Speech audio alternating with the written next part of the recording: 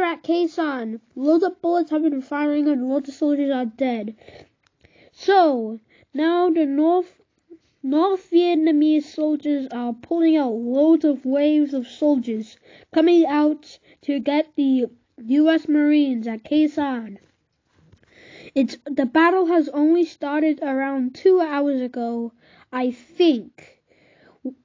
Now, gunfire has now it's, it is heavy fire, and loads of U.S. Marines and U.S. Army are dead.